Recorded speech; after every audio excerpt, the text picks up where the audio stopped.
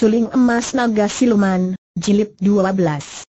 Dan Bu Tai Hiap walaupun dia merupakan seorang pendekar sakti yang selain berilmu tinggi juga berbatin kuat, tetap saja masih seorang manusia biasa, seorang manusia laki-laki yang masih muda dan akhirnya dia pun tidak kuat menghadapi godaan sinar-sinar cinta asmara yang dikobarkan oleh Teng Chun Chiu yang kehasan kasih sayang dan mendambakan belayan pria itu.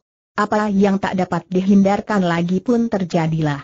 Terjadilah hubungan yang biasanya dinamakan perjinahan antara Teng Chun Chiu dan Bu Tai Hiap.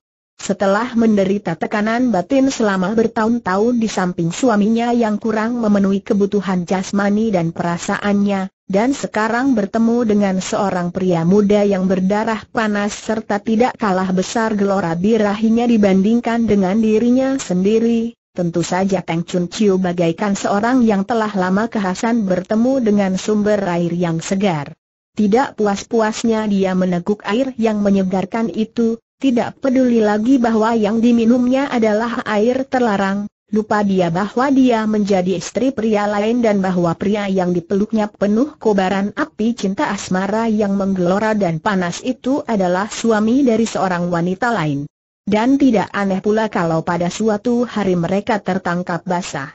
Semua orang di tempat itu, termasuk suami Teng Chun Chiu dan istri Bu Tai Hiap, adalah orang-orang lihai yang berkepandaian tinggi, maka tentu tidak mudah dikelabui dan akhirnya perbuatan mereka berdua itu ketahuan. Namun, sebagai seorang pendekar besar yang tidak lagi dimabok pirahi dan mudah dikuasai amarah, Chu San Bu tidak menimbulkan keributan. Butai Hiap merasa malu sendiri. Kalau seandainya suami wanita itu marah-marah dan menyerangnya, dia tidak akan merasa demikian terpukul dan malu seperti sekarang ini. Sikap Chul Sanbu yang diam seperti orang tidak marah itu lebih menyakitkan hati bagi Butai Hiap, karena membuat dia kelihatan semakin rendah saja. Maka dia pun berpamit dan pergi meninggalkan lembah suling emas bersama istrinya dan semenjak itu tidak pernah nampak lagi atau terdengar beritanya.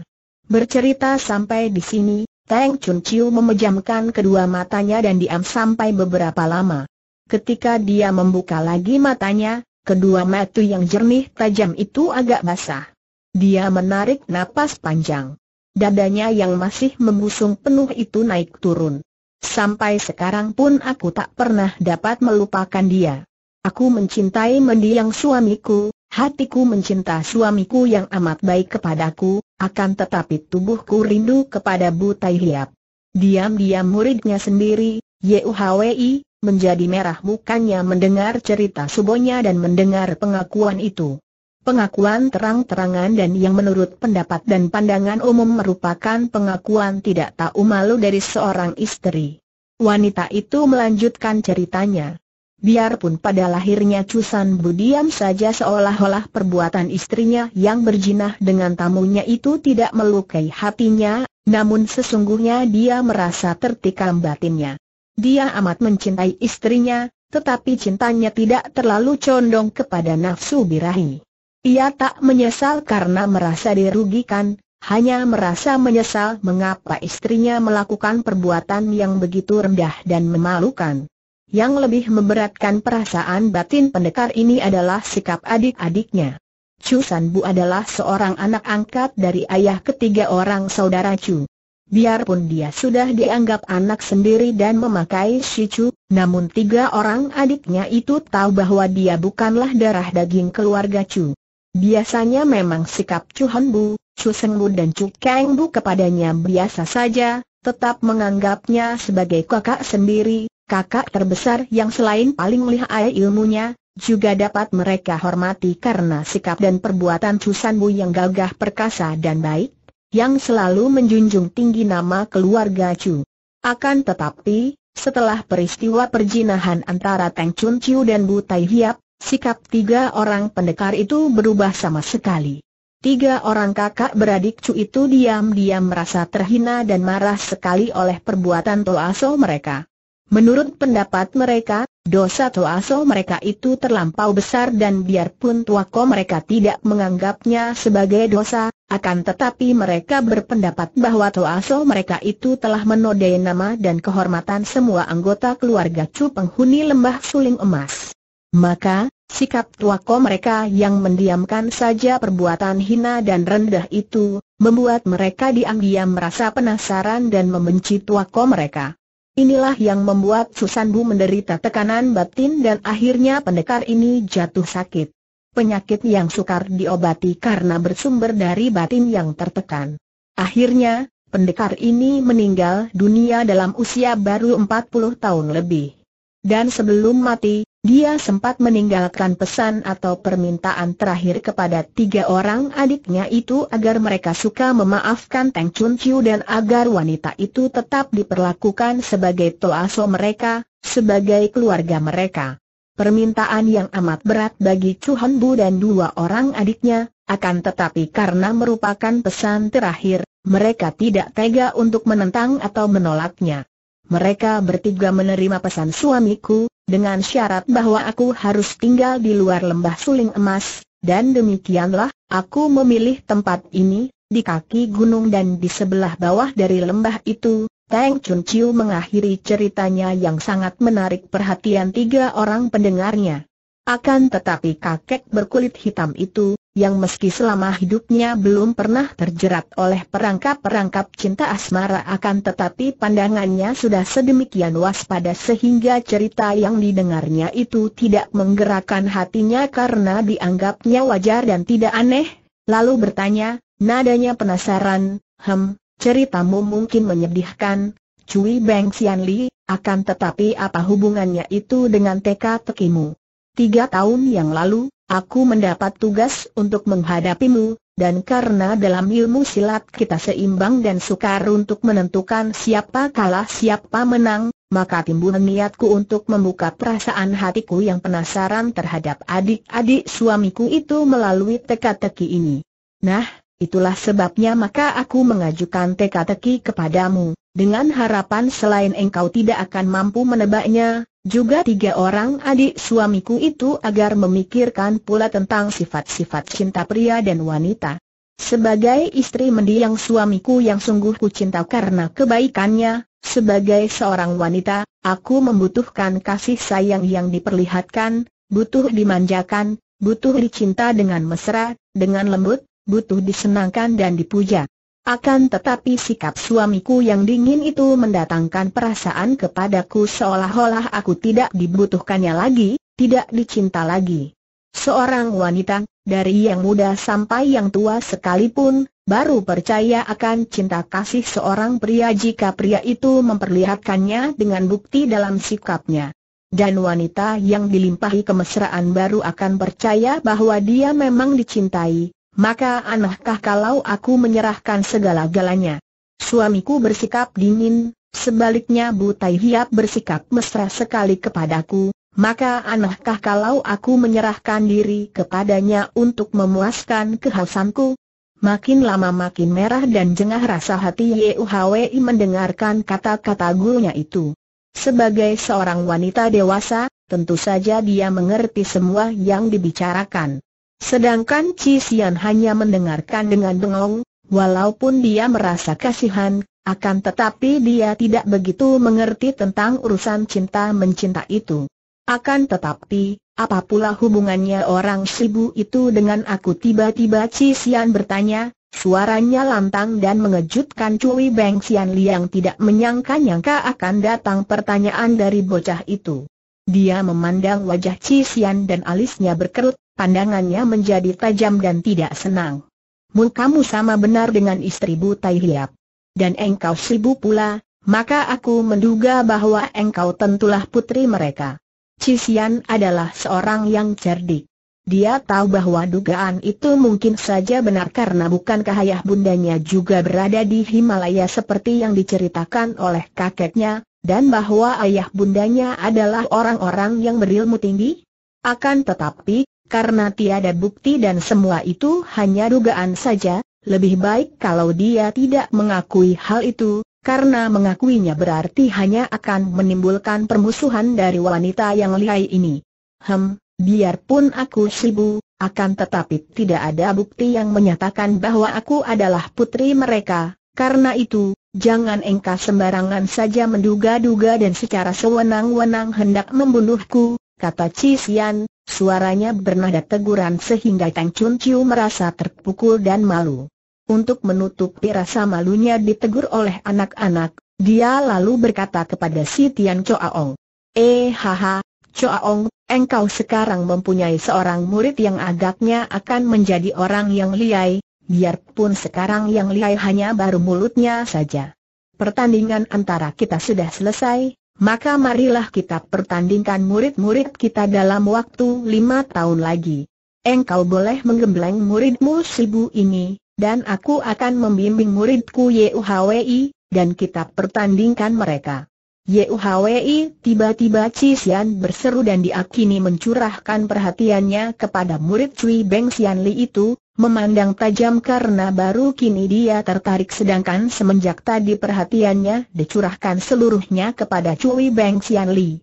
Dia mulai melangkah maju mendekati Hwi yang juga memandangnya penuh perhatian, Diam-diam Ci Xian harus mengakui bahwa Yu Hwi memiliki wajah yang manis sekali, bentuk tubuh yang ramping padat, kulit yang putih kuning halus mulus. Pendeknya, wanita itu amat cantik menarik dan memang pantas sekali kalau menjadi istri pendekar suling emas Kam Hong. Ada apa dengan engkau Yu Hwi membentak ketika melihat Ci Xian memandangnya sedemikian rupa setelah tadi mengucapkan namanya. Yu Hwi Mengapa engkau meninggalkan Kam Hang? Karena tiba-tiba timbul rasa iba kepada pendekar itu dan teringat akan cerita Kam Hang bahwa istri pendekar itu yang bernama Yu Hwi telah lari meninggalkannya, maka kini Ci Xian mengucapkan kata-kata itu dengan nada suara menegur dan mencela.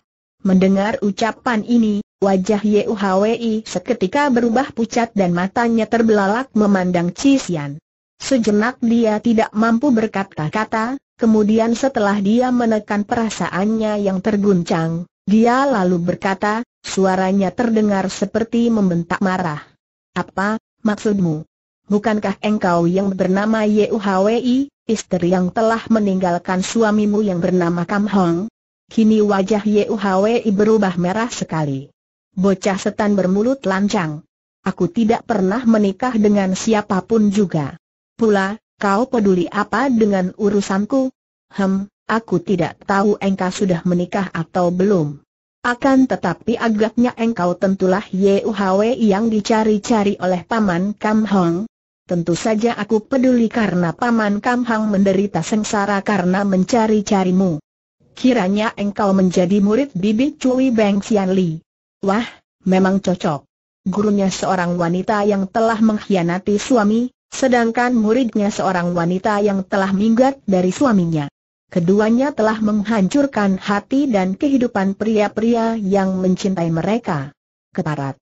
Jahanam bermulut lancang. Guru dan murid itu bergerak cepat, akan tetapi si Tian Choa Ong yang lebih dekat dengan Chi Sian sudah menyambar tubuh anak perempuan itu dan meloncat jauh dari tempat itu. Cui Beng Xian Li, di antara kita sudah tidak terdapat urusan lagi, Biarkan kami pergi dari sini teriak kakek itu tanpa menghentikan loncatan-loncatannya dan ternyata wanita itu bersama muridnya pun tidak melakukan pengejaran. Setelah kakek itu pergi jauh, Cui Beng Xian Li memandang pada muridnya dan dengan pandang mata, tajam dia bertanya. Yu Hwi, benarkah engkau minggat dari suamimu? Tidak Subo, bocah itu bicara yang bukan-bukan. Yang benar, Aku melarikan diri karena hendak dijodohkan dengan seorang pemuda yang bukan pilihanku sendiri. Dan pemuda itu bernama Hong. Hwi mengangguk, kemudian dia menceritakan persoalannya dengan Kam Hong. Dia menceritakan dengan singkat akan tetapi juga terus terang, mengingat bahwa gurunya tadi pun telah bercerita dengan terus terang tanpa menyembunyikan perbuatan dan perasaan hatinya sendiri. Sebetulnya, Teocu jatuh cinta kepada seorang pendekar yang amat Teocu kagumi, akan tetapi pendekar itu agaknya tidak membalas cinta Teocu. Dan tanpa Teocu ketahui, Ternyata sejak kecil Teocu telah ditunangkan dengan seorang pemuda lain. Setelah kakek Teocu memberitahu tentang pertunangan itu, maka ketika dipertemukan dengan tunangan itu yang juga telah Teocu kenal sebelumnya, Teocu merasa malu, dan juga kecewa dan Teocu pergi melarikan diri sampai sekarang. Sudah lima tahun lebih lamanya, dan siapa kira, pemuda itu ternyata masih mencari-cari Teocu seperti yang dikatakan oleh bocah setan tadi. Hening sejenak setelah Hwi menceritakan riwayatnya secara singkat. Kemudian Chun Chiu menarik napas panjang. Ya ah, demikianlah nasib kita kaum wanita. Tidak suka dijodohkan dengan pria pilihan orang-orang tua, disalahkan. Lari untuk menentukan nasib sendiri pun disalahkan disia-siakan cintanya sehingga kehasan dan mencari hiburan pelepas dahaga dengan pria lain pun disalahkan. Coba yang melakukan semua itu kaum pria, tentu tidak akan ada yang menyalahkan karena hal itu sudah dianggap biasa saja. Betapa tidak adilnya dunia ini terhadap kaum wanita. Akan tetapi, sungguh Kam Hang itu tidak tahu diri EUHWI berkata, Teocu tidak menyangka bahwa dia masih terus mencari Teocu. Mau apa dia? Apakah hendak memaksa Teocu menjadi istrinya berdasarkan ikatan jodoh yang dilakukan oleh orang-orang tua kami itu? Teocu harus pergi menemuinya dan menjelaskan bahwa Teocu tidak suka menjadi istrinya. Ingat, Yuhwi. Gurumu ini telah kalah bertaruh dengan si Tian Choaong. Dia sendiri telah mengorbankan waktunya sampai tiga tahun bertapa dalam goa. Dan setelah dia dapat menebak teka-teki sehingga aku kalah, sudah sepantasnya kalau aku pun memenuhi janji. Aku harus tinggal di sini dua tahun dan sama sekali tidak boleh keluar meninggalkan tempat ini sebelum dua tahun, dan engkau baru saja menjadi muridku. Engkau harus pula belajar menemaniku di sini sampai sedikitnya dua tahun, Yuhwi tidak berani membantah dan dia pun lalu mengikuti subonya kembali ke pondok kecil mungil yang dibangun oleh keluarga Chu di tempat itu untuk toaso mereka. Biarpun Teng Chun Chiu tidak diperbolehkan lagi tinggal di lembah suling emas, akan tetapi dia tetap diaku sebagai keluarga dan setiap waktu boleh saja mengunjungi lembah melalui jalan rahasia terowongan yang hanya dikenal oleh keluarga mereka.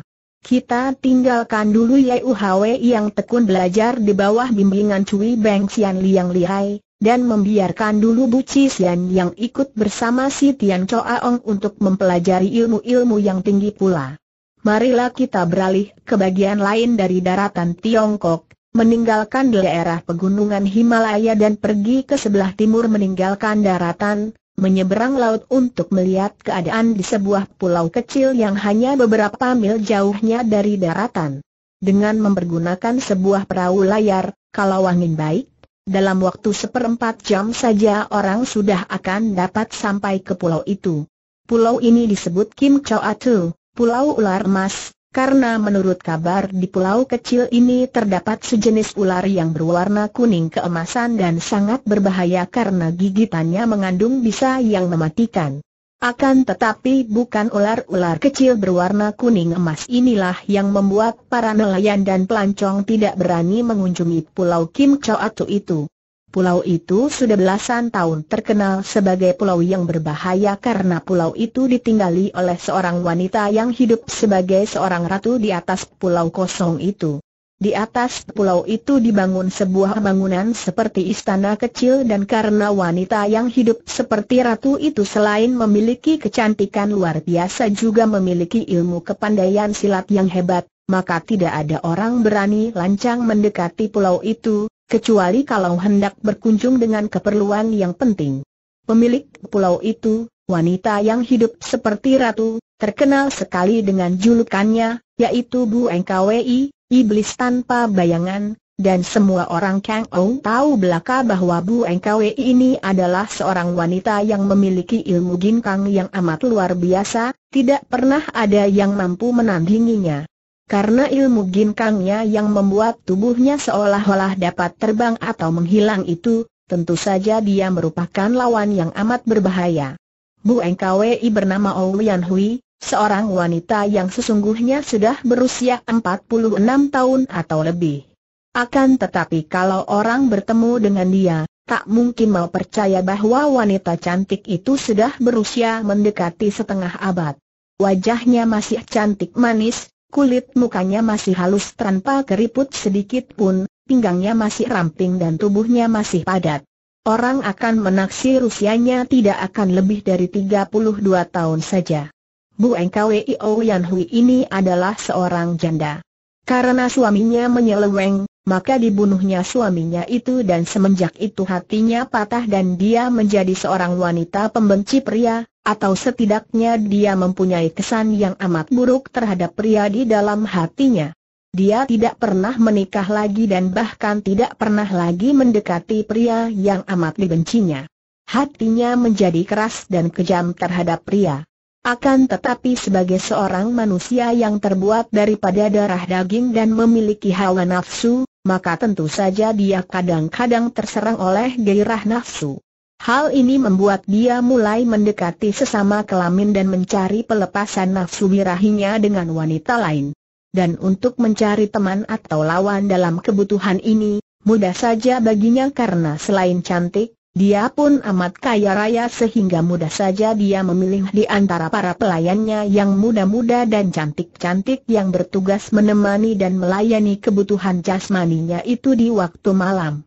Demikianlah, dari seorang wanita yang memiliki gairah birahi yang normal, karena patah hati dan benci kepada pria yang pernah menyakitkan hatinya, Aolian Hui berubah menjadi seorang wanita yang suka bermain cinta dengan wanita lain, atau yang kita biasa namakan wanita lesbian. Karena sikapnya yang benci kepada pria inilah yang membuat para pria tidak berani mendekatinya, biarpun dia, dalam usia tuanya, masih cantik menarik. Dan pulau ular emas itu pun dijauhi orang karena dunia Kang Ou sudah tahu bahwa Bu Engkwio Yan Hui adalah seorang wanita pembenci pria yang amat berbahaya. Akan tetapi, Sejak kurang lebih lima tahun terakhir ini Pulau Kim Chow Atu menjadi bahan percakapan orang dan mulailah orang-orang Kang Ou mendekatinya. Di situ terdapat suatu daya tarik yang amat luar biasa, yang terdapat dalam diri seorang darah yang luar biasa cantik jelita.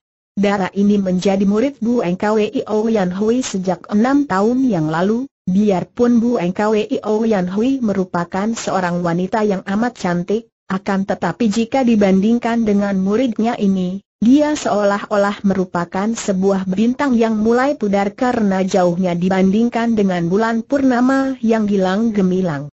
Memang kekuasaan Tuhan telah demikian bermurah hati kepada darah ini sehingga dia dikarunia kecantikan yang sukar dicari bandingnya di seluruh jagat. Wajahnya gemilang, rambutnya hitam gemuk dan panjang berombak, digelung seperti model sanggul putri istana, dihias taburan permata yang berkilauan, semerbak harum oleh sari kembang. Sepasang matanya yang lebar itu amat jernih dan tajam, seolah dapat mengeluarkan ribuan sinar yang menyaingi permata di atas kepalanya, berkeredepan amat indahnya, dihias bulu matu yang panjang lempik dan lebat sehingga bulu matu itu membentuk garis hitam melingkari matanya, seperti dilukis saja. Sepasang alisnya yang asli itu seperti lukisan pula, demikian indah, panjang melengkung dan kecil hitam, rambut alisnya halus dan rebah teratur dengan rapinya sehingga setiap helai bulu alis itu seperti memiliki kemanisannya sendiri. Hidungnya kecil mancung, cuping hidungnya tipis dan bentuknya patut, sesuai dengan mulutnya yang kecil namun dengan bibir yang penuh dan selalu kemerahan, merah asli karena sehat, merah basah dan bentuknya seperti gendawa terpentang. Dagunya meruncing menambah manis. Luar biasa memang darah yang cantik jelita ini. Usianya sudah ada 26 tahun, akan tetapi dia lebih pantas dinamakan darah remaja berusia 18 tahun. Hanya sikap gadis ini, caranya memandang dan caranya bicara menghadapi orang, menunjukkan kematangannya sebagai seorang wanita yang sudah dewasa. Demikian cantik jelita, demikian manis, anggun dan agung bagaikan seorang putri istana. Dan memang sesungguhnya lah, murid dari Bu Engkwio Yan Hui ini adalah seorang putri asli, seorang putri kerajaan.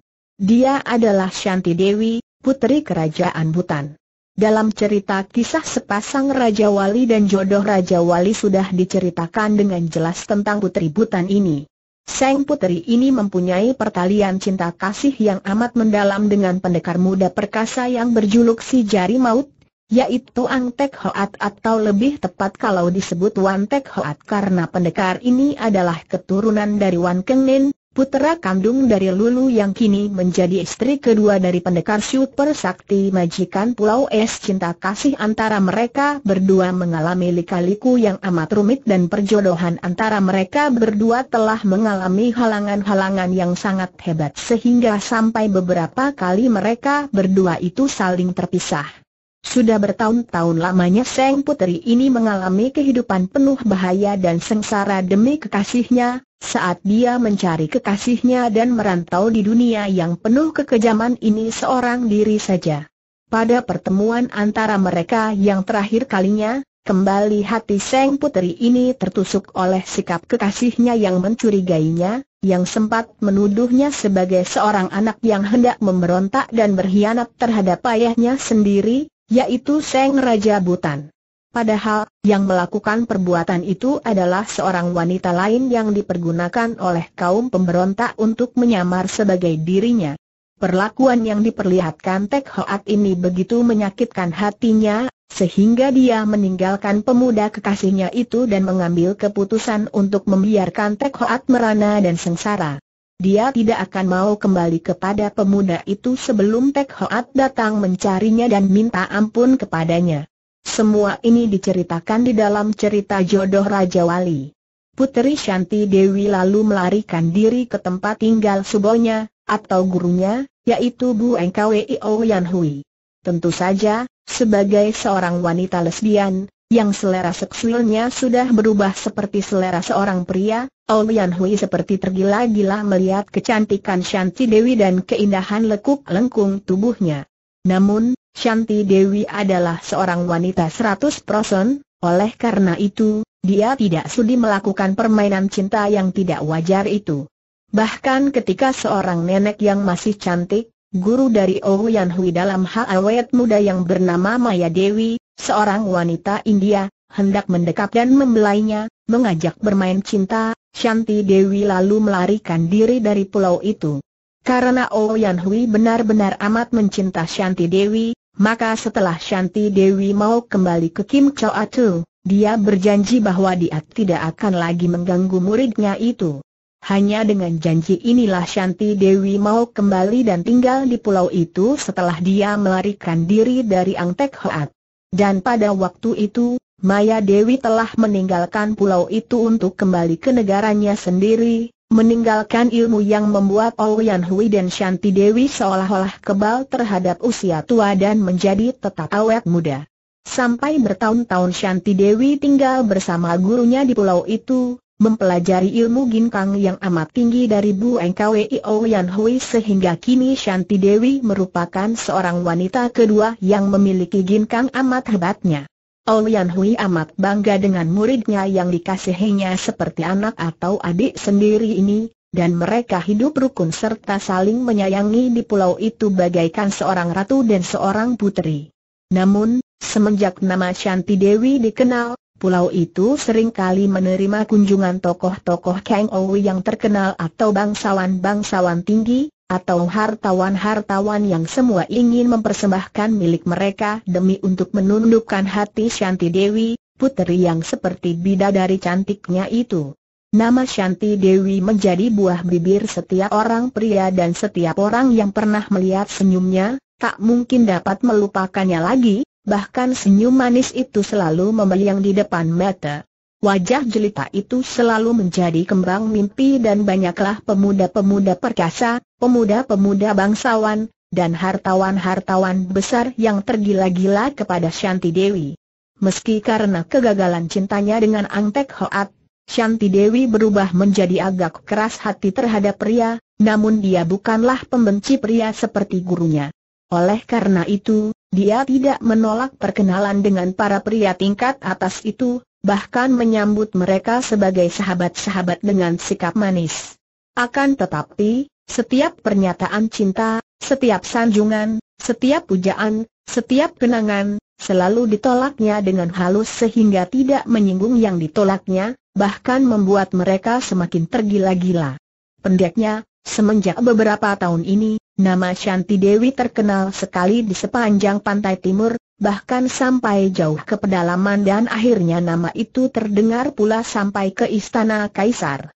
Tentu saja Oyan Hui sendiri tidak sudi menemui para pria itu, akan tetapi dia juga tidak tega untuk melarang muridnya menerima kunjungan para pria tingkat atas itu, dan jika Shanti Dewi dikelilingi pria-pria muda yang rupawan dan seolah-olah berebut untuk menundukkan hati Puteri Juwita ini, Oyan Hui yang merasa sebal lalu mencurahkan semua ketidaksenangan hatinya dengan hiburan yang biasa dilakukannya, yaitu dia lari ke dalam pelukan lembut wanita-wanita pelayan yang biasa menjadi kekasihnya.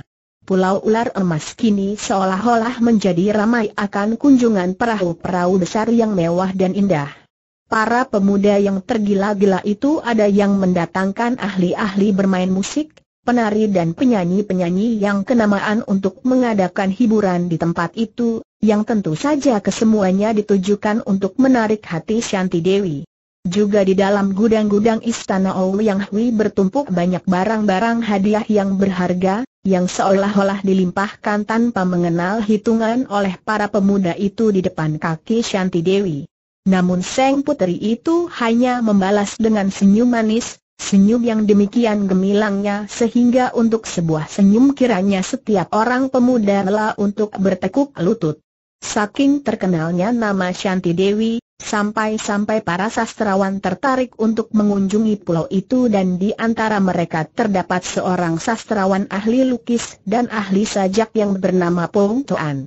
Sastrawan ini sudah berusia 50 tahun, dan ketika perahu kecilnya mendarat di Kim Choa Tu, para penjaga memandangnya penuh curiga. Biasanya, yang melakukan pendaratan dan kunjungan di pulau itu hanyalah pemuda-pemuda yang rupawan dan gagah perkasa, yang datang membawa kesan yang nampak dari sikap mereka yang gagah perkasa dari seorang ahli silat, atau dari perahu mereka yang mewah dan pakaian mereka yang indah dari seorang hartawan, atau dari pengawal-pengawal dan sikap angkuh seorang bangsawan. Akan tetapi kakek ini berperahu kecil, berpakaian sederhana, dan sudah tua lagi. Apa yang diharapkan dari seorang kakek seperti itu? Maka, seorang di antara para penjaga yang diadakan oleh Shanti Dewi setelah tempat itu sering dikunjungi orang, cepat menghampiri dan menegur. Lepek, mau apakah engkau mendaratkan perahumu di sini? Dilarang untuk mencari ikan di tepi pulau ini. Kakek Po Toan tersenyum. Harus diakui bahwa kakek berusia 50 tahun ini pernah menjadi seorang pria yang tampan sekali, dan hal ini nampak jelas ketika dia tersenyum. Sahabat, seperti juga para pendatang lain, aku ingin sekali berjumpa dengan Nona Shanti Dewi. Beberapa orang penjaga sudah mendekati tempat itu dan mereka tertawa mendengar kata-kata ini. Biarpun pria ini tampan, akan tetapi dia sudah tua dan miskin. Mau apa hendak bertemu dengan Siocia, pikir mereka. Eh haha, orang tua. Siocia kami tidak pernah menerima kunjungan orang-orang tua. Yang menjadi tamu-tamunya adalah pemuda-pemuda perkasa, pemuda-pemuda bangsawan atau pemuda-pemuda hartawan. Lebih baik engkau lekas pergi dari sini, kalau sampai Toanio majikan pulau ini mendengar tentang kedatanganmu, tentu dia akan marah dan nyawamu tidak akan tertolong lagi. Yang dimaksudkan oleh para penjaga dengan Toan Yo itu bukan lain adalah Bu Eng Kwei Yan Hui. Kalau Shanti Dewi yang mereka sebut Xiao itu merupakan seorang yang amat mereka sayang dan hormati karena sikapnya yang ramah tamah dan lemah lembut terhadap semua orang, sebaliknya Owian Hui amat mereka takuti karena memang wanita ini selalu bersikap dingin dan galak terhadap para pria, termasuk para penjaga itu. Kakek itu tertawa. Hahaha, dunia memang penuh kepalsuan. Penghargaan terhadap manusia dinilai dari lahirnya, bukan batinnya. Sahabat, kalian bermaksud baik, maka aku berterima kasih atas nasihat kalian. Akan tetapi, aku mempunyai suatu hal yang perlu ku sampaikan kepada Nona Shanti Dewi. Maukah engkau menyampaikan hal ini kepadanya tanpa menanti jawaban? Kakek itu lalu mengeluarkan sebuah kipas yang permukaannya terbuat dari kertas putih bersih. Lalu dia mengeluarkan alat tulis dan dengan gerakan yang cekatan sekali dia mencoret-coret di atas kipas itu. Para penjaga memandang dan melongo penuh kekaguman ketika melihat betapa coret-coret itu merupakan tulisan huruf-huruf yang amat indah dan dilihat dari jauh merupakan sebuah petak rumput dengan bunga-bunganya mencuat di sana-sini. Dan bukan hanya huruf-hurufnya yang indah, akan tetapi bahkan huruf-huruf itu tersusun merupakan sebuah sajak yang rapi pula. Nah, inilah pesanku itu, harap kalian suka menyampaikan kepada Siocia kalian. Seorang di antara para penjaga itu, yang berkumis lebat, mengerutkan alisnya dan menghampiri sambil bertolak pinggang, lalu membentak, Ah, engkau ini tua bangka tidak tahu diri. Bercerminlah dulu sebelum engkau berani menulis surat cinta kepada Siocia. Lagakmu seperti seorang pemuda saja, pakai hendak mengirim surat cinta kepada Siocia bentakan ini disambut suara ketawa penjaga lainnya. Kakek itu juga tersenyum, kemudian dengan alat tulisnya dia mencoret-coret di atas ujung perahunya. Semua orang memandang terpesona dan kembali mereka terbelalak memandang coret-coret yang agaknya dilakukan secara sembarangan itu ternyata telah membentuk wajah penjaga berkumis lebat itu, Mirip sekali sehingga sekali pandang saja semua orang mengenal wajah si kumis lebat, lengkap dengan kumisnya yang pada gambar di atas papan perahu itu bahkan nampak lebih menyeramkan daripada aslinya. Sastrawan tua itu tersenyum ketika dia mengangkat muka memandang kepada penjaga berkumis yang menegurnya tadi, sambil berkata, Nah, sudah kucatat baik-baik gambar wajahmu agar mudah kulaporkan kelak kepada penghuni pulau ini siapa di antara para penjaga yang bersikap kasar terhadap seorang tamu. Mendengar ini, tiba-tiba wajah penjaga berkumis tebal itu berubah ketakutan. Memang siapakah yang tidak takut membayangkan bahwa jangan-jangan sastrawan sederhana ini adalah seorang kenalan baik Toan Yo dan kalau betul demikian halnya dan kakek ini melaporkan kepada Toan Yo, dia tentu akan celaka. Maka cepat si kumis tebal itu menjura kepada sastrawan itu sambil berkata, harap Tuan Sudi memaafkan kelakar kami tadi, dan kalau Tuan menghendaki, biarlah saya menyampaikan pesan Chuan kepada Xiaoxia. Nah, itu baru seorang petugas yang baik, seorang penjaga yang gagah perkasa seperti harimau kata sastrawan itu dan kembali dengan alat tulisnya dia mencoret-coret ke arah lukisan wajah penjaga itu dan semua orang memandang kagum karena kini lukisan itu berubah menjadi kepala seekor harimau yang bagus sekali. Penjaga berkumis lebat itu tidak berani main-main lagi, cepat diterimanya kipas yang sudah ditulisi itu dengan hormat sambil berkata, saya akan menyampaikan kipas ini kepada Xiaoxia. Dan aku akan menanti balasannya di sini, kata sastrawan itu sambil mengeluarkan sebungkus roti kering dan seguci arak, kemudian duduklah di adik kepala perahunya sambil makan roti, minum arak dan bersenandung kecil, kelihatannya riang dan gembira sekali. Pada pagi hari itu, Shanti Dewi sedang duduk di dalam taman bunga bersama gurunya yaitu Bu Engkwi Yan Hui, menghadapi sarapan pagi di dalam taman yang indah itu, dilayani oleh para pelayan yang cantik muda dan berpakaian bersih rapi. Taman itu memang indah sekali, dibangun oleh Shanti Dewi sendiri yang mendatangkan berbagai macam bunga dari daratan untuk ditanam di pulau itu. Mereka duduk di bangunan kecil di tepi danau buatan yang penuh dengan ikan-ikan emas beraneka macam dan warna, yang nampak berenang ke sana kemari di dalam air yang amat jernih itu. Jembatan-jembatan kecil dicat indah dan nyeni menambah semarak pemandangan di taman dan batang-batang pohon yang liu yang lentik itu menari-nari tertiup angin pagi yang lembut. Dewi, kata Oyan Hui dengan halus. Dia selalu menyebut Dewi kepada muridnya itu, dan tak pernah dia bosan untuk memandang wajah yang jelita itu. Owian Hui biasanya bersikap dingin dan kasar angkuh kepada orang lain, akan tetapi terhadap Shanti Dewi dia bersikap lembut dan manis budi. Kabarnya hari ini pangeran akan datang mengunjungi pulau kita, benarkah? Benar, Enci Hui, Shanti Dewi biasa menyebut gurunya itu Enci dan hubungan mereka memang lebih mirip antara kakak dan adik daripada guru dan murid. Kemarin seorang pengawalnya telah menyampaikan berita itu. Dewi, sahabatmu itu adalah seorang pangeran mahkota yang kelak akan menjadi kaisar. Dan kulihat hubungan antara kalian demikian akrab. Hem, Daripada engkau dikelilingi begitu banyak pria muda, apakah tidak lebih baik kalau menentukan pilihanmu sekarang juga? Dan kurasa, sudah paling tepatlah kalau engkau memilih pangeran itu. Bayangkan saja kelak engkau menjadi permaisuri dan Enci Hui, harap jangan sebut-sebut tentang hal itu Shanti Dewi memotong dengan alis agak berkerut, meski wajahnya masih tetap berseri dan senyumnya masih membayang di bibirnya yang merah basah dan sudah begitu segar nampaknya di pagi hari itu. Kini Ouyang Hui yang memandang kepada darah itu dengan alis berkerut dan sinar matanya serius. Dewi, marilah kita bicara dari hati ke hati secara terbuka saja karena yang kita akan bicarakan ini menyangkut masa depan dari kehidupanmu. Tidak perlu ku sebutkan lagi karena engkau sudah mengenalku, bahwa aku pribadi tidak sudi berdekatan dengan pria, apalagi menjadi istri. Akan tetapi engkau lain lagi. Engkau menentang sikap hidupku dan engkau mengatakan bahwa sekali waktu engkau tentu akan menjadi istri seorang pria. Nah, usiamu sudah 26 tahun dan selagi sekarang terbuka kesempatan yang amat baik ini, mengapa engkau masih hendak bertahan?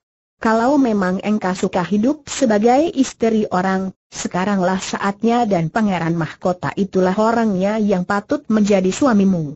Bayangkan, kelak engkau menjadi permaisuri. Hem, bahkan aku sendiri pun yang tidak suka kepada pria akan ikut merasa bangga disebut seorang kakak angkat dari permaisuri. Enci, Lupakah kau bahwa aku selalu menganggap perjodohan itu hanya mungkin apabila terdapat cinta kasih di situ? Apakah kau kira aku akan serendah itu, menikah dengan seorang pria hanya berdasarkan kedudukan belaka? Ingat, di Butan aku pun adalah seorang putri tunggal Raja Butan. Hem, apa artinya kedudukanmu di Butan kalau dibandingkan dengan menjadi permaisuri kasar? Dewi, apa artinya cinta kasih? Apa kau kira ada cinta kasih dalam hati seorang pria? Huh, aku tidak percaya itu. Pria hanya mempunyai nafsu birahi, nafsu binatang, dan selalu hanya ingin memuaskan nafsunya terhadap wanita, selalu ingin mempermainkan wanita sampai akhirnya dia menjadi bosan dan mencari wanita baru yang lain. Kalau engkau dapat menjadi permaisuri dari sebuah pernikahan, tidak peduli kaisar yang menjadi suamimu itu kelak mengumpulkan seribu orang selir, tetap saja engkau sudah memperoleh kedudukan dan kekuasaan tertinggi bagi seorang wanita, dan cukup, Anci. Aku tidak mau lagi bicara tentang itu. Kau tahu, Pangeran Tian Leong hanya menjadi sahabat baikku, kami saling cocok dan saling suka, saling menghormat. Sama sekali tidak ada perasaan seperti yang kau maksudkan itu. Hai hai hik, kau kira aku ini anak kecil, Dewi? Aku bisa melihat jelas betapa pada sinar matanya terdapat kekaguman dan gairah birahi. Usianya baru 18 tahun, aku jauh lebih tua. Apa salahnya? Melihat wajahmu, engkau lebih pantas dikatakan baru berusia 18 tahun, dan perbedaan usia itu malah akan membuat engkau lebih mudah untuk mengatasinya. Sudahlah, kau tahu, Enci. Aku tidak akan menikah dengan siapa pun juga, betapapun kaya raya dan berkuasanya pria itu, kecuali dengan pria yang kucinta. Tek Hoat itu lagi, ya? Betapa bodohnya engkau. Tidak. Dia sudah kuhapus dari dalam lubuk hatiku. Setelah bertahun-tahun ini dia tidak muncul, aku mulai percaya bahwa dia memang berhati palsu. Ouyang Hui tertawa lagi. Bukan hanya dia, semua laki-laki di dunia ini berhati palsu. Karena itu aku lebih suka berdekatan dengan sesama wanita yang memiliki kelembutan, baik jasmani maupun rohaninya. Dunia ini seharusnya dikuasai wanita dan semua pria sebaiknya dibinasakan saja. Pada saat mereka berdua tertawa santai terbebas dari percakapan tentang hal yang mendatangkan kenangan tidak menyenangkan dalam hati Shanti Dewi itu, muncullah penjaga berkumis lebat. Melihat bahwa Xiochia berada di dalam taman bersama Toanio, wajahnya menjadi pucat dan cepat-cepat dia menjatuhkan diri berlutut ketika Oyan Hui menoleh dan memandang kepadanya. Harap Toanio sudi mengampuni saya yang berani lancang masuk ke sini, karena saya tidak tahu bahwa Toanio di sini. Shanti Dewi yang maklum akan tabiat gurunya yang membenci kaum pria dan mudah menjatuhkan tangan kejam terhadap pria yang bersalah sedikit saja, cepat berdiri menghampiri pria penjaga itu dan bertanya dengan sikap ramah, mendahului Oyan Hui yang sudah memandang dengan alis berkerut kepada pria berkumis lebat itu. Ada keperluan apakah engkau datang ke sini? Maaf, Socia. Di pantai pulau ada seorang sastrawan berusia kurang lebih 50 tahun yang bermaksud berjumpa dengan Socia. Siapa dia? Apa keperluannya? Tanya Shanti Dewi. Usir dia pergi bentak Oyan Hui, suaranya melengking marah hingga mengejutkan si penjaga berkumis tebal yang masih berlutut. Saya, sudah berusaha mengusirnya, akan tetapi dia menuliskan sesuatu di atas kipas ini dan minta untuk disampaikan kepada Xiochia. Cepat-cepat dia mengeluarkan kipas itu dari saku bajunya. Keparat, berani kau. Penjaga itu terkejut bukan main karena yang nampak hanya berkelebatnya bayangan dan tahu-tahu dia merasa kepalanya seperti disambar petir dan tubuhnya terlempar dan bergulingan.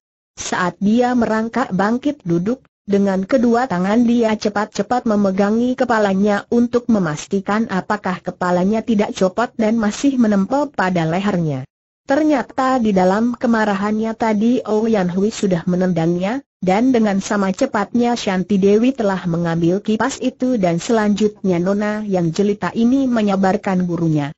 Emci, dia hanya petugas, harap ampuni dia, kata Shanti Dewi yang segera membuka kipas itu dan membacanya. Sepasang mata yang indah itu bersinar-sinar, mulut yang manis sekali itu tersenyum dan kedua pipinya menjadi merah ketika dia membaca sajak yang ditulis dengan huruf-huruf biasa yang amat indahnya itu. Kembang indah jelita nan cantik menarik datangnya kumbang-kumbang beterbangan membuat banyak tangan ingin memetik banyak pria berlomba bersaing. Aku, sastrawan tua pengagum segala nan indah hanya ingin menikmati dengan pandangan mata sebelum kembang jelita dilayukan usia. Kasihan kumbang, belum kenyang madu tertusuk duri. Kasihan kembang, habis madu layu sendiri. Di mana dia sekarang Shanti Dewi bertanya kepada penjaga yang masih berlutut dan mandi keringat karena ketakutan itu. Kumisnya nampak miring dan sama sekali tidak membayangkan kegalakan lagi. Dia, menanti, di dalam perahunya, Siochia, jawabnya dengan lirih dan matanya mengerling ketakutan ke arah Oyan Hui. Kau persilakan dia menanti di ruangan tamu, aku akan menemuinya, kata Shanti Dewi dengan halus. Nah, pergilah. Penjaga itu merasa lega sekali. Cepat dia bangkit dan memberi hormat. Kemudian dengan penuh penghormatan dia menjura ke arah Oyan Hui. Terima kasih atas pengampunan Toanio, dan pergilah dia dengan cepat-cepat meninggalkan taman indah akan tetapi baginya seperti neraka menakutkan itu. Emci, dia itu hanya seorang sastrawan tua yang tulisannya indah syairnya bagus sekali. Aku mau menemuinya. Olian Hui bangkit berdiri, sejenak memandang kepada putri itu, lalu membuang muka dan mendengus. Huh, Segala tua bangka menjemukan dan dia pun pergi meninggalkan Shanti Dewi dengan wajah cemberut. Shanti Dewi yang sudah mengenal watak gurunya itu hanya tersenyum saja. Gurunya itu memang tidak suka kepada pria, akan tetapi dia tahu bahwa wanita itu amat sayang kepadanya dan tidak akan merintangi kehendaknya. Maka dia pun cepat-cepat pergi meninggalkan taman untuk memasuki bangunan seperti istana itu. Siapa namamu begitu bertemu dengan sastrawan tua yang masih menanti di perahu itu, penjaga berkumis membentak. Dia masih merasa marah karena telah dihadiahi tendangan oleh Toanio dan karena hal ini adalah gara-gara munculnya sastrawan ini maka dia menjadi marah kepada sastrawan itu. Sastrawan tua itu tersenyum dan membungkuk. Namaku Pou Toan, hanya seorang sastrawan perantau. Bagaimana, apakah nonamu telah menerima pesanku dalam kipas? Dengarlah, orang si Pou kata penjaga itu dengan mati merah serta telunjuknya menuding ke arah hidung sastrawan itu. Kalau engkau tidak menceritakan yang baik-baik tentang aku di depan Xiao agar aku mendapat hadiah, ingat, kalau engkau kembali tentu akan kubikin lukisan di mukamu dengan kedua kepalan tanganku ini Dia mengamankan tinjunya yang besar kepada sastrawan itu. Gara-gara kedatanganmu aku telah kena marah oleh Tuan Yu. Sastrawan itu tersenyum, Aih, kiranya aku telah menyusahkanmu, sobat. Jangan khawatir, setelah aku berhasil bertemu dengan Xiao kalau pulang aku tentu akan memberi hadiah kepadamu. Nah, sekarang antarkan aku kepada Xiao Penjaga itu lalu mengantarkan Pou Toan menuju ke ruangan tamu di samping istana yang megah itu. Kau tunggu di sini, demikian pesan Xiao tadi, kata si penjaga lalu meninggalkan Pou Toan seorang diri di dalam ruangan tamu yang luas itu. Pou Toan memeriksa keadaan kamar tamu yang cukup luas itu dengan hati tertarik. Sebagai seorang sastrawan, Tentu saja dia kagum sekali melihat ruangan tamu yang dihias dengan amat menyenangkan itu, dengan warna-warna sejuk pada dinding yang digantungi lukisan-lukisan indah. Akan tetapi dia tertarik sekali akan serangkaian tulisan indah di sudut ruangan, dan dia berdiri seperti patung di depan tulisan ini, dengan alis berkerut dan dia masih berdiri seperti itu ketika Shanti Dewi muncul dari dalam pintu yang tertutup tirai hijau muda. Melihat seorang laki-laki berusia lima puluhan tahun berdiri di depan tulisan itu dengan alis berkerut dan agaknya tertarik sekali sehingga tidak melihat dia muncul, Shanti Dewi tersenyum. Dia tertarik melihat pria yang tidak seperti para pengunjungnya yang lain itu. Biasanya, di kamar tamu ini dia menerima kunjungan orang-orang muda yang menarik dan dengan pakaian serba indah seolah-olah bergaya dan bersaing. Tapi pria ini sudah setengah tua dan pakaiannya sederhana saja, seperti pakaian orang yang miskin. Pamankah yang ingin bertemu dengan aku Shanti Dewi akhirnya menegur karena pria itu seperti terpesona oleh tulisan-tulisan di dinding. Po Toan menengok dan sejenak dia terbelalak memandang darah yang berdiri tak jauh di depannya. Sudah banyak dia mendengar nama putri yang berada di Kim Chow Atu ini sehingga amat menarik hatinya dan membuatnya datang singgah di pulau itu untuk menyaksikan sendiri seperti apa putri yang dikabarkan orang seperti bidadari dari surga itu. Dan setelah kini dia berhadapan, dia terpesona dan tercengang karena dia seolah-olah melihat Kuan Im Po sendiri berdiri di depannya. Kecantikan darah ini sungguh jauh melampaui apa yang didengarnya dalam berita angin itu. Kecantikan yang luar biasa sekali. Sepasang matanya seperti orang dahaga bertemu dengan air jernih, menghirup dan meneguk keindahan di depannya itu sepuasnya. Nona, yang dikabarkan sebagai bidadari Kim Chow Atu dan bernama Shanti Dewi itu? Shanti Dewi mengangguk dan tersenyum. Dia merasa aneh sekali. Sudah biasa dia disanjung dan dipuji oleh bibir-bibir para pria muda, bahkan dengan kata-kata sanjungan yang berlebihan, tetapi anehnya, ucapan yang keluar dari mulut kakek ini membuat dia merasa senang, bangga dan jantungnya berdebar. Mengapa? Mungkin karena kata-kata dan sikap pria ini begitu jujur, bukan seperti sanjungan para muda yang penuh dengan lagak dan jelas membayangkan pamrih bersembunyi di balik sanjungan itu. Akan tetapi pria ini tidak demikian. Ah, paman, berita itu hanya isapan jempol belaka. Mana mungkin seorang manusia biasa seperti aku dibandingkan dengan seorang bidadari? Kakek itu menarik napas panjang, masih terpesona. Kau keliru. Engkau malah melebihi yang dibayangkan orang, engkau lebih dari seorang bidadari. Engkau tahu, seorang bidadari hanya suatu gambaran yang tanpa cacat, Sebaliknya engkau adalah seorang manusia berikut cacat-cacatnya, karena itu jauh lebih mempesona daripada sekedar gambaran kosong belaka. Heran sekali, ucapan ini jelas-jelas mengandung pujian yang disertai celaan tentang kecantikannya, akan tetapi Shanti Dewi malah merasa girang. dia merasa kembali menjadi manusia biasa bertemu dengan kakek ini. Silakan duduk, paman dan katakanlah apa cacat-cacatku. Engkau tentu tahu bahwa sebagai manusia biasa, aku pun tidak pandai melihat cacat-cacat sendiri sungguh pun aku pandai melihat cacat-cacat lain orang. Kakek itu duduk dan mengangguk-angguk. Hem, selain kecantikan engkau memiliki kebijaksanaan pula, Nona. Cacat-cacatmu ialah bahwa di balik kecantikanmu itu engkau mengandung kedukaan yang mendalam yang kau coba sembunyikan di balik senyum manis dan sinar mata yang seindah bintang. Dan selain kedukaan ini, juga engkau menaruh dendam besar, hal itulah yang merusak kecantikanmu. Akan tetapi cacat-cacat itu malah menghidupkanmu, bukan hanya sekedar gambar bidadari, melainkan seorang manusia berikut kelebihan dan kekurangannya. Sayang cacat-cacatmu itulah yang kini menciptakan kepedihan dalam hidupmu, Nona. Diam-diam Shanti Dewi terkejut dan memandang tajam penuh selidik, karena merasa tepatnya ucapan itu. Engkau seorang ahli peramal? Hahaha melihat kakek itu tertawa, Shanti Dewi merasa makin tertarik karena ketawa itu begitu wajar sehingga dia pun ikut tertawa dan bergembira, seperti sinar matahari memasuki ruangan itu yang biasanya lembab oleh sikap Wian Hui yang selalu muram dan dingin. Nona, segala peramal itu hanya omong kosong belaka. Aku dapat membaca keadaan batinmu dari wajahmu, Bukankah wajah adalah cermin dari keadaan hati seseorang? Paman, siapakah engkau? Namaku Po Toan, aku seorang sastrawan tua yang tidak tinggal di tempat tertentu, selalu merantau untuk menikmati keindahan alam semesta. Paman Po, ketika aku memasuki ruangan ini, kulihat engkau amat memperhatikan tulisan di dinding itu.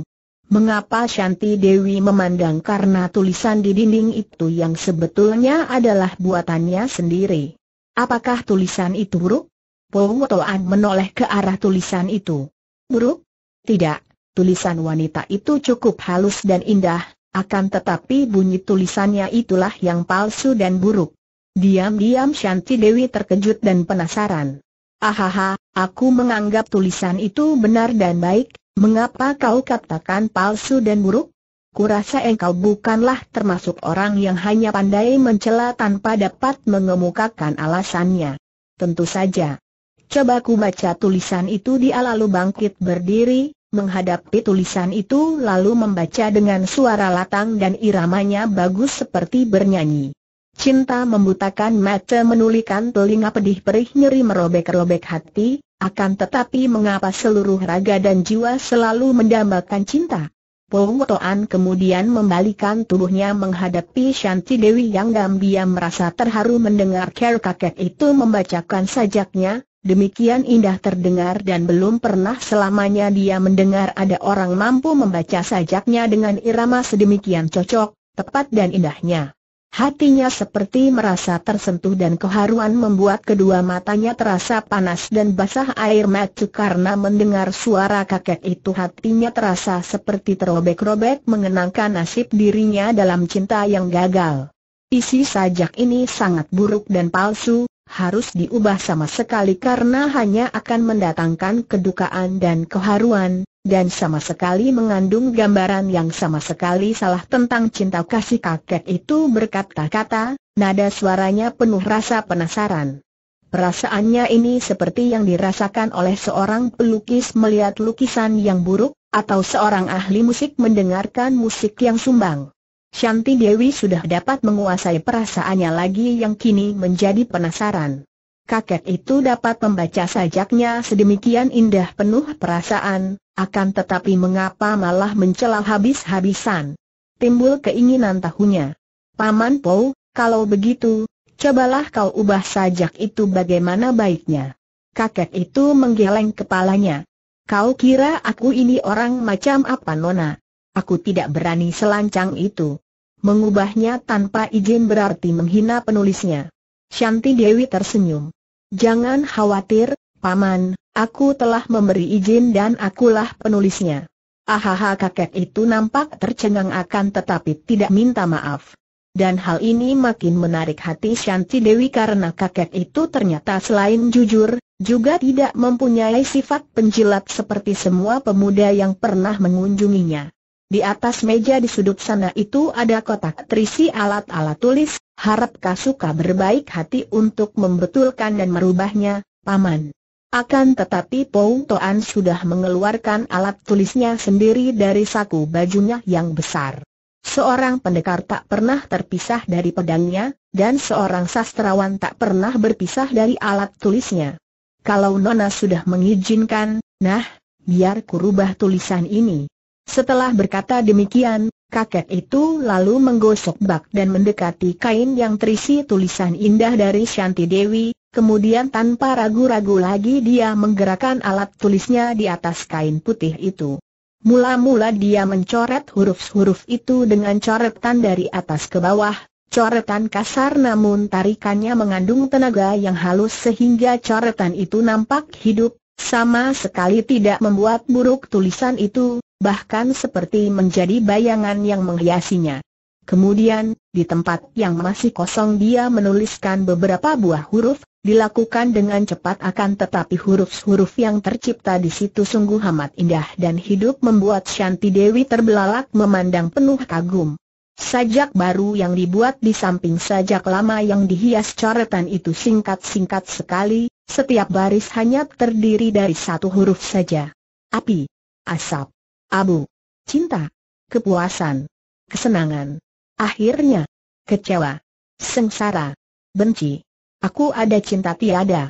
Setelah selesai menuliskan sajak yang terdiri dari huruf-huruf singkat itu, Pou Toan menyimpan kembali alat tulisnya, sedangkan Shanti Dewi masih menatap tulisan itu dan membacanya berkali-kali. Hanya sebuah huruf setiap baris, akan tetapi huruf-huruf itu demikian jelas menusuk perasaan, mendatangkan kesan mendalam dan menimbulkan pengertian yang lengkap. Namun dia masih penasaran. Akan tetapi, Paman Po, kenapa orang mencinta tak boleh mengharapkan kepuasan dan kesenangan? Bukankah kita mencinta dikarenakan tertarik oleh suatu kebaikan tertentu? Mereka sudah duduk kembali saling berhadapan, menghadapi poci dan cawan teh harum yang dihidangkan oleh pelayan yang sudah disuruh pergi lagi oleh Shanti Dewi. Po Toan menghirup teh harum kental itu, lalu menjawab, Mencinta karena tertarik oleh suatu kebaikan merupakan cinta yang hanya ingin menyenangkan diri sendiri. Dasarnya adalah ingin menyenangkan diri sendiri melalui sesuatu yang menarik dan dianggap kebaikan itu. Kebaikan itu boleh saja merupakan wajah tampan menarik, atau harta berlimpah-limpah, atau kedudukan tinggi, dan semua itu dianggap menarik dan menyenangkan. Tetapi bisa saja kebaikan itu berupa sifat-sifat baik dari orang yang dicinta, kegagahan misalnya, kebijaksanaan atau sifat-sifat budiman, bantah Shanti Dewi. Tiada bedanya. Sifat-sifat yang dianggap baik dan akan mendatangkan kesenangan, kebanggaan dan sebagainya. Akan tetapi kita lupa bahwa setiap orang manusia itu kalau sudah dinilai, sudah pasti mengandung dua sifat bertentangan, ada baik tentu ada buruknya. Mencinta dengan dasar ketampanan, padahal ketampanan itu dapat pudar, dapat lenyap dan dapat berkurang menurut suasana hati yang memandangnya. Kalau ketampanannya sudah pudar, lalu ke mana perginya cinta? Dengan dasar kekayaan, kedudukan, kejantanan atau apa saja pun sama pula, begitu yang menjadi pendorong cinta itu pudar atau lenyap maka cintanya turut lenyap. Dan harus diingat lagi bahwa hal-hal yang dianggap baik dan menyenangkan itu hanya dianggap demikian karena belum tercapai oleh kita, akan tetapi apabila sudah berada di tangan kita, biasanya muncul penyakit bosan dan segala keindahan itu sudah tidak nampak sebaik sebelum terdapat. Shanti Dewi memejamkan mata. Di dalam kepala yang berbentuk indah itu, otaknya sedang bekerja keras sekali. Nampaklah olehnya betapa kadang-kadang dia menjadi benci sekali kepada Tek Hoat kalau dia mengingat akan sikap-sikap Tek Hoat yang tidak menyenangkan hatinya, cintanya berubah benci. Nampak jelas olehnya betapa kalau Tek Hoat melakukan hal-hal yang dianggapnya baik dan menyenangkan, cintanya berkobar-kobar, tetapi sebaliknya kalau Tek Hoat melakukan hal-hal yang dianggapnya buruk dan tidak menyenangkan, cintanya melayu dan muncullah kebencian. Dia membuka mata dengan penuh kengerian di dalam hatinya. Seperti itukah cintanya terhadap Tek Hoat? Hanya berdasarkan menyenangkan dirinya sendiri? Dia bergidik. Paman Po? Paman, katakanlah, kalau begitu, apa dan bagaimana cinta kasih itu suaranya lirih seperti memohon, pandang matanya sayu. Sejenak sastrawan itu terpesona. Belum pernah dia melihat kelembutan dan kecantikan seperti ini. Nona, eh haha, aku memohon padamu, bolehkah aku melukis wajahmu? Dia pun berbisik.